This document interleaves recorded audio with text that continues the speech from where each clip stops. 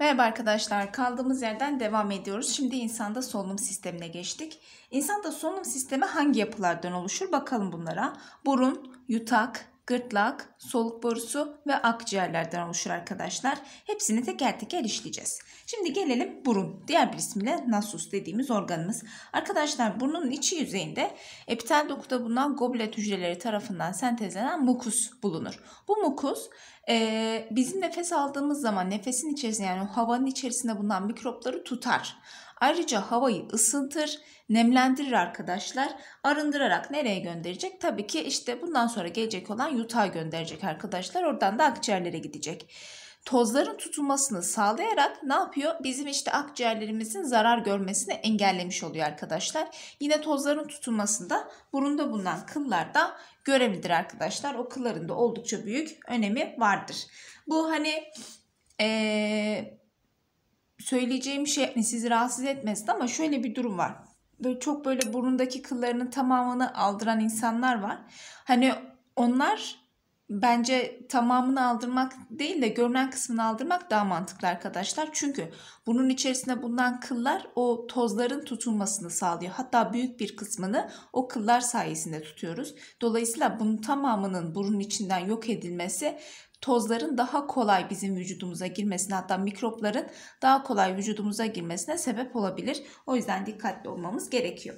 Gelelim ikinci yapımız yutak ve gırtlaktan bahsedeceğiz arkadaşlar. Yutağın diğer ismi pharynx, gırtlağın diğer ismi de larynx'tir arkadaşlar. Şimdi bakın yutak e, hem yemek borusunun hem de soluk borusunun açıldığı kısımda bulunur. Besinlerin e, yemek borusuna gitmesini sağlıyor havanın da arkadaşlar akciğerlere gitmesini yani soluk borusuna gitmesini sağlıyor. Biz yutağın iltihaplanmasına bakın. Yutağın diğer adı ne? Farinks. Yutağın iltihaplanmasına faranjit diyoruz.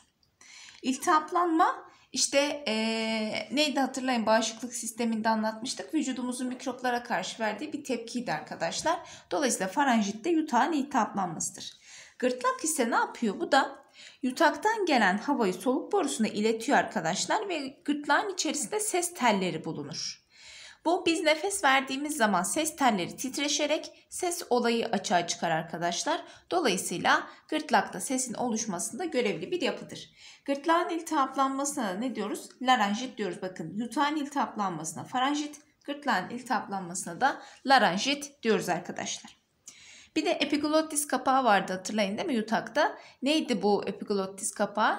Ee, besinleri yutma sırasında nefes borusunu kapatarak besinlerin nefes borusuna kaçmasını engelliyordu arkadaşlar. Yemek yerken konuşursak gülersek bu e, epiglottis kapağı açılarak işte yemeklerin nefes borusuna kaçmasına sebep olabiliyor. O yüzden yemek yerken mutlaka e, burundan nefes alıyoruz, konuşmuyoruz, gülmüyoruz arkadaşlar bizim sağlığımız açısından. Gelelim bir diğer yapımıza soluk borusu. Diğer bir isimle trakea diyeceğiz arkadaşlar soluk borusuna. Şimdi ee, soluk borusu nerede bulunur? Nasıl bulunur arkadaşlar? Gırtlaktan birinci kaburga kemiğine kadar uzanır. Yani şöyle siz göğüs kafesinize baktığınızda kaburga kemiğinizi burada bulduysanız hemen birinci kaburga kemiğine doğru uzanan bir yapıdır arkadaşlar. Yaklaşık 12 santimdir. Bakın yemek borusu daha uzundur. Yemek borusu 25 santim kadardır. Yani arada bir 13 santimlik fark var. Çünkü neden? Yemek borusu mideye bağlanıyor. Mide daha aşağıdadır. Ee, soluk borusu da akciğerlere bağlanıyor. Akciğerler daha yukarıdadır. O yüzden soluk borusu daha kısadır. Arkadaşlar soluk borumuz hiyalin kıkırdaktan oluşur ve C harfi şeklindedir. Bu kıkırdak sayesinde soluk borusu hiç kapanmaz. Kıkırdak halkalar sayesinde böylece sürekli nefes alışverişi gerçekleşir arkadaşlar. Ön tarafta soluk borusu, arka tarafta da yemek borusu bulunur. Unutmayın.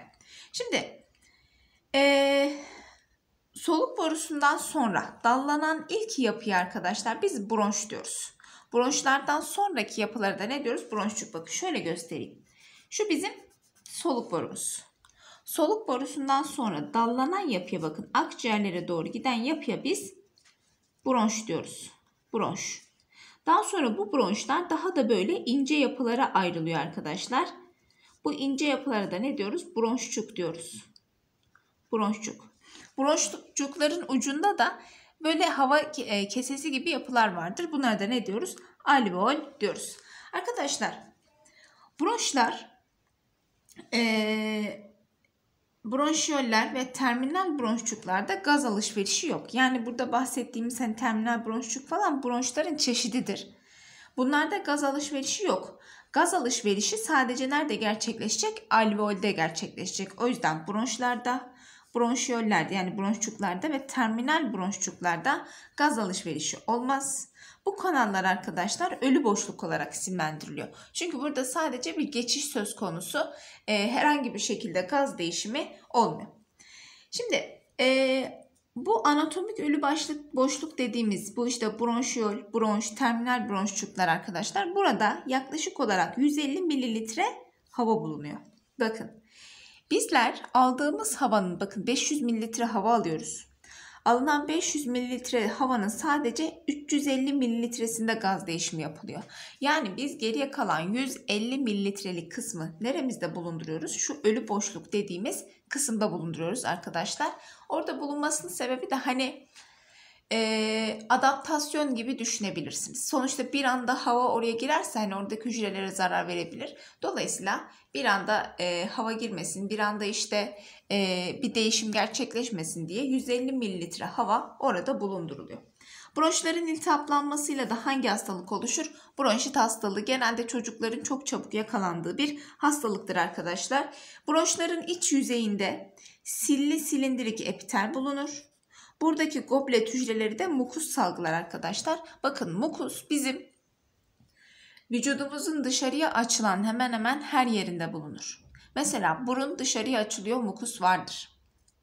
Ondan sonra soluk borusu arkadaşlar yine işte bronşlar, bronşçuklar dışarıya açılıyor, mukus vardır. Dışarıya açılıyor derken direkt dışarı açılması gerekmiyor. Sonuçta orada kanalla bir dışarı açılma olayı var mı? Var.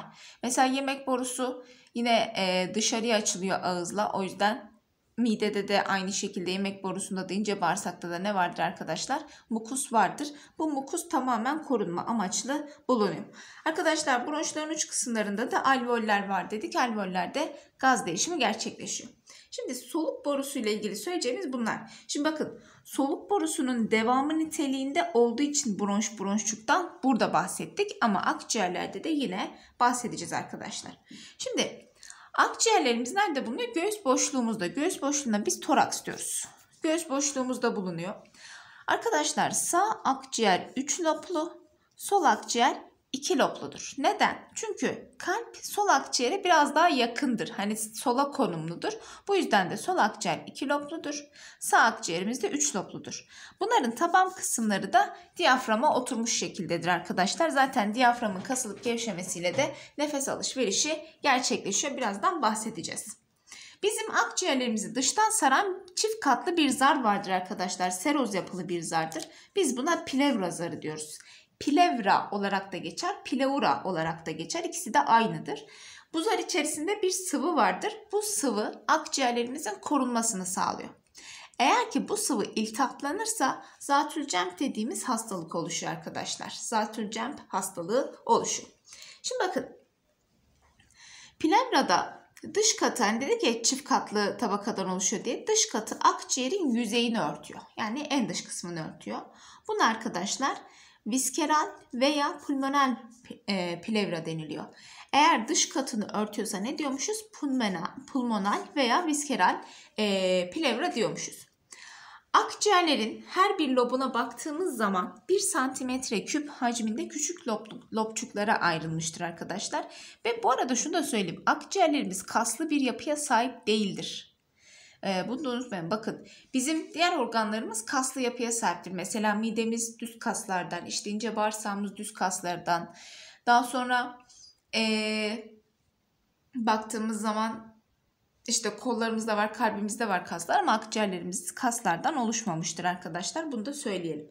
Bu sadece havanın dolup boşalmasıyla e, hareket edebilen bir organımızdır akciğerlerimiz. Ve e, her bir lobu 1 santimetre küp hacminde küçük lobçuklara ayrılmıştır. Arkadaşlar her lobçuk kan damarı ve bronşların kolları ile sinirlerden yapılı doku ile çevrilidir. Bakın şöyle düşünün.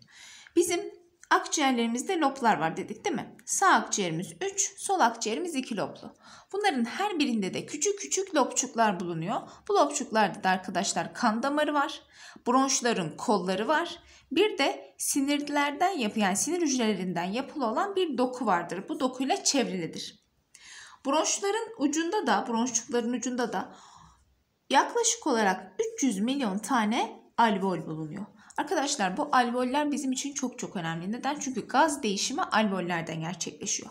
Alveollerin yüzeyi e, tek katlı epitelle çevrilidir ve etrafı kılcal damarlarla kaplıdır. Arkadaşlar kılcal damar yumağı gibi bir şey var burada. Bu kılcal damarlar sayesinde de gaz değişimi sağlanıyor. Gaz değişimi nasıl oluyor? İşte e, akciğerlere alınan oksijen kana veriliyor. Kandaki karbondioksit de alveollerden akciğer boşluklarına bırakılarak dışarı atılması sağlanıyor arkadaşlar. Bir de alveollerin içerisinde sürfektan dediğimiz bir madde üretiliyor arkadaşlar. Bu sürfektan ne yapıyor? Alveolün e, üzerindeki suyun yüzey gerilimini düşürerek alveollerin çökmesini engelliyor. Yani bir nevi alveollerin şişkin kalmasını sağlıyor sürfektan. Peki sürfektanın yapısına baktığımızda sürfektan lipoprotein yani yağ ve proteinin birleşimi olarak düşünün. Lipoprotein yapılıdır arkadaşlar. Alveollerde ödem oluşumunu engeller sürfektan maddesi. Evet akciğerler bu şekilde. Devam edelim. Şimdi arkadaşlar soluk alıp verme mekanizmasına geldik. Solunum organlarımızı işledik. Şimdi gelelim soluk alıp verme mekanizması nasıl gerçekleşiyor buna bakalım.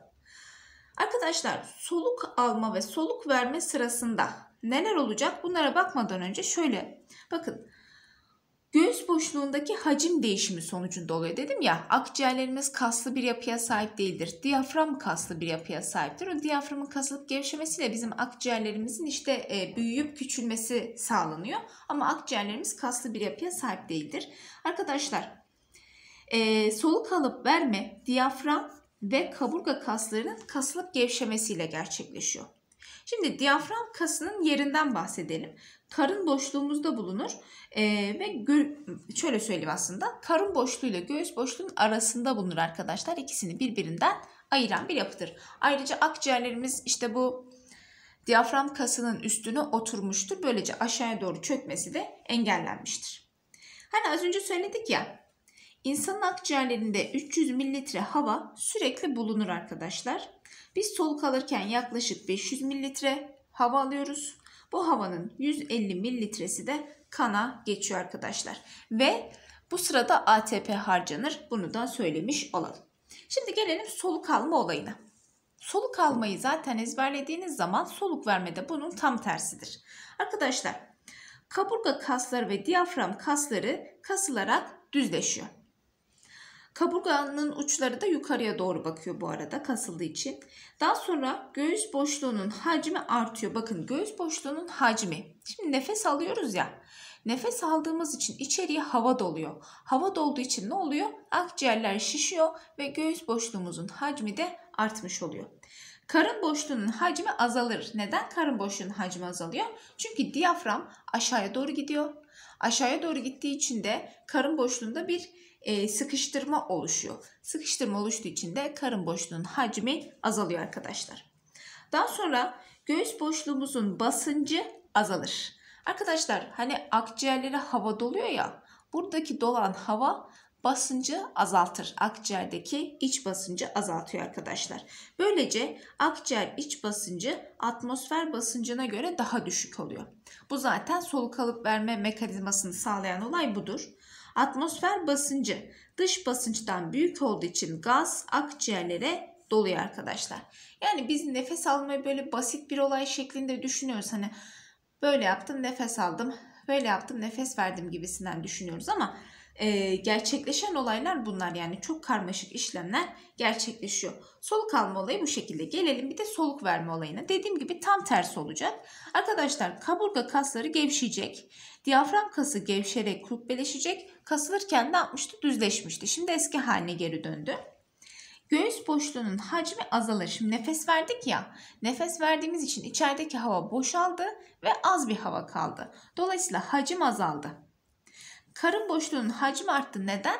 Çünkü akciğerlerin e, karnımıza yaptığı basınç azalıyor arkadaşlar. Dolayısıyla akciğerdeki hacim de azaldı. Şey, e, karındaki hacim arttı, akciğerdeki hacim azaldı. Göğüs boşluğunun basıncı artar. Şimdi nefes verdiğimiz zaman ne oldu? Ee, içeride bulunan o 150 mililitrelik hava göğüs boşluğunun hacmini, e, basıncını artırmış oldu arkadaşlar. Daha sonra akciğer iç basıncı atmosfer basıncına göre daha büyük olur. Bu sayede de gaz akciğerlerden dışarıya çıkmış olur. Dediğim gibi bir tanesini ezberlediğiniz zaman diğeri zaten onun tam tersi. Şimdi arkadaşlar solunumla ilgili hani nasıl gerçekleşiyor bir bundan bahsedelim. Bizim beynimizde solunum merkezi neresi? Omurilik soğanı. Zaten biz omurilik soğanı için ne demiştik? Ne demiştik omurilik soğanı için? Hayat düğümü demiştik değil mi? Hayati olayları kontrol ettiği için hayat düğümü demiştik. Şimdi bakın kandaki karbondioksit miktarı artacak. Karbondioksit arttığı zaman kanın pH'i düşer değil mi? Asitlik artar çünkü. Omurilik soğanı uyarılıyor. Omurilik soğanı da diyafram ve kaburga kaslarını uyararak bu kasların kasılmasını sağlıyor. Böylece e, nefes alıp verme olayı gerçekleşiyor arkadaşlar. Şimdi soluk alıp verme olayını anlattıktan sonra gelelim solunum gazlarının taşınmasına. Nasıl taşınıyor solunum gazlarımız? Arkadaşlar insanda al yuvarların içerisinde bulunan hemoglobin hem oksijeni hem de karbondioksitin taşınmasını sağlıyor. Şimdi bakın solunum pigmentlerinden ilk önce size bahsedeceğim. İnsanda bulunan solunum pigmenti nedir? Hemoglobindir. Peki diğer canlılarda hangi maddeler var? Birazdan bunlardan da bahsedeceğiz. İlk önce ortak özelliklerinden bahsedelim. Arkadaşlar hepsi metaloprotein yapıdadır. Metalo dediğimiz yapısında metal vardır. Mesela hemoglobinin yapısında ne var? Demir var. Birazdan bahsedeceğim. İşte bakır olan da var. Ee, o şekilde bahsedeceğiz. Tamamı oksijen ve karbondioksit gazı ile tersinir reaksiyona girer. Yani oksijeni bırakırken karbondioksit alır veya karbondioksiti bırakırken oksijeni alır arkadaşlar bu şekilde. Metal iyonu taşır. Zaten metaloprotein dedik ya metal iyonu taşıdığını da söyledik. Kana renk verir. Yapısındaki metale göre kana renk veriyor arkadaşlar. Ve oksijen taşıma kapasitesini de artırmış oluyor. Çünkü bu solunum pigmentlerine tutunarak oksijen taşınıyor. Böylelikle taşıma kapasitesi de artmış oluyor. Şimdi gelelim pigmentlere. 4 tane pigmentimiz var. Bu pigmentlerde e, hangi metaller var? Nasıl renk veriyor? Bunlara bakalım. Arkadaşlar hemoglobin zaten hemoglobin hepimiz biliyoruz. Bizlerde de bundan yapı. Yapısında ne vardır? Demir. Kana hangi rengini verir? Kırmızı. Nerede bulunur? Hem plazmada bulunur hem de al yuvarda bulunur arkadaşlar. Peki hangi canlılarda var? Halkalı solucanlar, yumuşakçalar ve omurgalılarda bulunur. Klorokrorin dediğimiz bir madde var arkadaşlar. Bunun yapısında da yine demir var ve kana yeşil rengini verir. Yani kan demeyelim de vücut sıvısı diyelim. Vücut sıvısı yeşil renklidir. Bu sadece plazmada bulunur. Deniz solucanında bulunan bir e, maddedir arkadaşlar. Hatta deniz solucanı yeşil renkli görüldüğü için hani acaba fotosentez yapıyor mu gibisinden de düşünülüyor. Hemosiyanin bakın bunda da bakır vardır. Bakır mavi renk verir arkadaşlar. Bu da plazmada bulunur. Örümceklerde, kabuklularda ve yumuşakçalarda bulunan bir pigmenttir. Bir de son olarak hemoeritrin diyeceğiz. Bunda yapısında demir var. Kırmızı renklidir. Plazmada bulunur. Halkalı solucanlarda da yine hemoeritrin vardır arkadaşlar. Yani halkalı solucanlarda da hemoglobin de görülebilir, hemoeritrin de görülebilir. Şimdi gelelim bu pigmentlerin oksijen taşıma kapasitesine. Arkadaşlar en fazla oksijeni taşıyan hemoglobindir. Daha sonra klorokrorin, sonra hemosiyanin en az taşıyan ise hemoeritrindir. Oksijen taşıma kapasiteleri bu şekilde. Şimdi oksijen ve karbondioksit bizim vücudumuzda nasıl taşınıyor buna bakalım. İlk önce oksijenden bahsedelim. Oksijenin taşınması oldukça basittir. Sadece arkadaşlar %98'i hemoglobine bağlanarak taşınıyor. %2'si plazmada çözülmüş halde taşınıyor. E, difüzyonla oksijen akciğer kılcalına geçiyor arkadaşlar. Buradan al yuvar ve plazma ile dokuya taşınıyor. Şimdi bakın Hemoglobin oksijene bağlanıyor akciğer kılcallarında. Oksihemoglobin oluşturuyor. Daha sonra kanın içerisine taşınıyor. Sonra arkadaşlar bu doku kılcalına geçerek doku kılcallarında hemoglobin ve oksijen olarak ayrılıyor. Oksijeni Oksijeni kim kullanıyor artık? Hücreler, doku hücreleri kullanıyorlar. Hemoglobin de serbest kalıyor. Hemoglobin tabi boş kalmıyor. Hemen oradaki karbondioksite bağlanıyor. Arkadaşlar oksihemoglobine doygun olan kan açık renklidir. Yani açık kırmızıdır. Dolayısıyla hani bu kan verdiğimiz zaman daha koyu renkli oluyor ya aslında o bizim toplar damarlarımızdan alınan kandır. Gelelim karbondioksitin taşınmasına. Bu biraz daha farklı taşınır. Şimdi bakın 3 şekilde taşınıyor. %85'i bir karbonat şeklinde taşınır plazmada. %10'u hemoglobine bağlı olarak taşınıyor. %5'i de plazmada çözülmüş olarak taşınıyor. Şimdi arkadaşlar hemoglobine bağlı olarak taşındığına baktığımızda bakın karbonik anhidraz enzimi dediğimiz enzim vardır. Bu enzim e, doku kılcalında işte bir karbonat oluşumunu falan sağlayacak. Ama biz bu enzime bakmadan önce şuraya bakalım. Bakın hemoglobin karbondioksite bağlanır doku kılcallarında. Daha sonra karboksi hemoglobin oluşturur. Karboksi hemoglobin akciğerlere giderek ayrılırlar birbirlerinden. Karbondioksit dışarı verilir. Hemoglobin bu sefer oksijene bağlanır. Yani hemoglobin bir oksijene bağlanıyor bir karbondioksite bağlanıyor arkadaşlar. Bu şekilde devam ediyor. Şimdi gelelim doku kılcalı işte akciğer kılcalı yani aslında şöyle söyleyeyim ben size plazmada bir karbonat şeklinde nasıl taşınıyor buna bakalım. Arkadaşlar burada görevli olan enzim karbonik anhidraz enzimidir. Karbonik anhidraz enzimi karbondioksit ve suyu birleştirir. Sonuçta biz e, solunum sırasında su da oluşturuyoruz. Suyu karbondioksiti birleştiriyor. H2CO3 dediğimiz bir bileşiği oluşturuyor. Doku kılcallarında bu bileşik oluşur. Daha sonra arkadaşlar yine doku kılcallarında gerçekleşiyor. Hidrojen ve bikarbonat olarak ayrılır. Buradaki hidrojen tabii ki serbest kalmıyor. Eğer serbest kalırsa kandaki hidrojen seviyesi artacağı için bir süre sonra asitlik artar, pH düşer. O da bize zarar verir. Bu yüzden bu hidrojen nereye bağlanır? Hemoglobine bağlanır ve hidroksihemoglobin dediğimiz yapıyı oluşturur. Peki bu hemoglobin hidrojene bağlandı. Bir karbonat oluştu. Peki bunlar nereye gidiyor? Bunlar akciğere gidiyorlar. Plazmada git taşınıyorlar. Akciğer kılcallarına geldiğimiz zaman bakın hemoglobinden hidrojen ayrılıyor. Sonra bu hidrojen gelip burada tekrardan bir karbonatla birleşiyor. Bir karbonatla birleşerek neyi oluşturuyor? H2CO3 oluşturuyor arkadaşlar. Buradan da tekrar karbondioksit ve suya ayrışarak nefes verme şeklinde dışarıya atmış oluyoruz. Mantığını çözdüğünüz zaman emin olun e, bununla ilgili gelen soruları da yapacaksınız. Evet oksijen ve karbondioksit taşınması bu şekilde. Bakın şöyle şekil olarak da göstereyim ben size. Şimdi alveollerimiz akciğerler değil mi? Oksijen ne yaptı? Hemoglobine bağlandı. Hemoglobin arkadaşlar oksihemoglobine dönüştü. Daha sonra oksihemoglobin bakın akciğer toplar damarıyla kalbe geldi. Kalbin sol kulakçığına daha sonra oradan aorta çıktı kalbin sol karıncığından. Yine oksihemoglobin nereye taşındı? Dokulara. Dokularda oksijen serbest bırakıldı. Hemoglobin de serbest kaldı. Hemoglobin hemen kime bağlandı? Karbondioksite. Bu karbondioksit taşındı arkadaşlar. Alt ve üst ana toplar damardan kalbin sağ kısmına geldi. Sağ kısmından da akciğer atar damarına gider. Buradan da nereye gider arkadaşlar? Karbondioksit ayrılarak alveollerle dışarı çıkar hemoglobin de serbest kalır ve oksijene tekrardan bağlanır arkadaşlar. İşte bu şekilde gerçekleşen olayımız böyledir. Bu arada karbondioksit ve su akciğer kılcallarında ne oluyor? Ayrılarak dışarıya veriyor arkadaşlar. Bir karbonat iyonları şeklinde taşınarak da e, bizim karbondioksitimiz taşınmış oluyor. Şimdi gelelim solunumu hızlandıran faktörlere.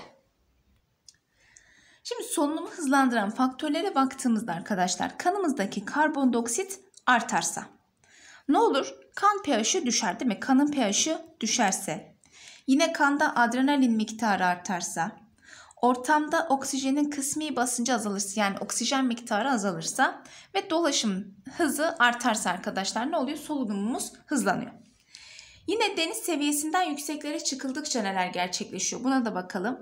Dokulara giden oksijen azalıyor. Çünkü yukarıda e, deniz seviyesinden yukarıya çıktıkça oksijen miktarı daha da azalır. Bu yüzden dokulara giden oksijen de azalıyor. Dolaşım hızı artıyor, kan basıncı yükseliyor arkadaşlar. Solunum hızı buna bağlı olarak artıyor. Kanda al yuvar ve hemoglobin miktarı artıyor. Dokulara giden oksijen miktarı da sabitlenmiş oluyor. Bu e, Futbol maçıyla ilgilenen işte e, maça çıkacak olan takımlar bir hafta öncesinden falan gidip işte kamp yapıyorlar yüksek yerlerde. Orada al yuvar sayılarını artırıyorlar. Al yuvar ve hemoglobin miktarı arttığı için ne olacak bu sefer?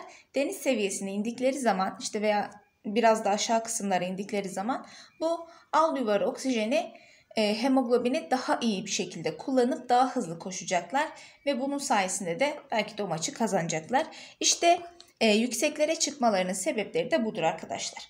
Evet böylece biz solunum sistemini bitirmiş olduk. Solunum sisteminde bilmeniz gerekenler bunlar. Nerelerden soru çıkar diye sorarsanız arkadaşlar soluk alıp verme mekanizmasından soru çıkabilir.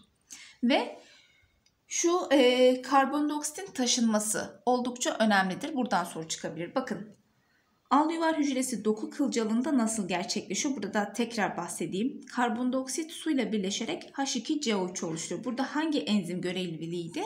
Karbonik anhidraz enzimi.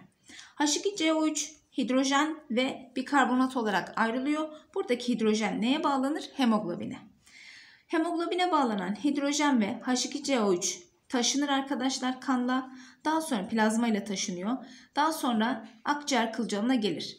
Hemoglobinden hidrojen ayrılır gelip bir karbonat iyonuyla birleşir. Tekrardan H2CO3 oluşturur. Buradan da arkadaşlar karbondioksit ve su ayrılarak alveollerden dışarıya verilir. İşte bu şekilde karbondioksitin taşınmasını bir tekrar etmiş olduk. Arkadaşlar bu videoyu burada sonlandırıyorum. Sonraki videoda solunum sistemi ile ilgili soru çözümü yapacağız. Sonraki videoda görüşmek üzere. Hoşçakalın.